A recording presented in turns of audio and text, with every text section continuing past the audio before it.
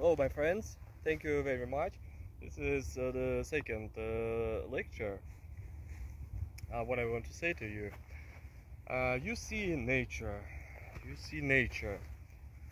Uh, what is important about to be uh, in nature, to see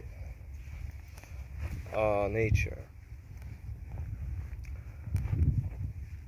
human mind often comes misled because of uh, the synthetic uh, environment uh, surrounding us. Uh, human mind needs uh, to come back, to come back to the natural state of mind. people come to the church to pray, to bring their mind into its a harmonic uh, state uh, with God because uh, man seeing the, before which has led him to the unnatural and mistaken state of mind.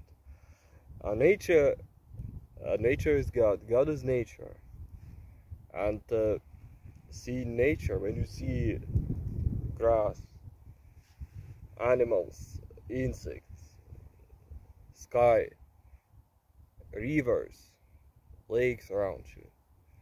You bring your soul, your mind back to the natural state.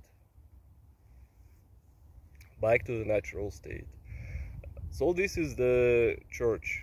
The church of God. Nature is God's church. It brings your mind back. That's why this is important. This is important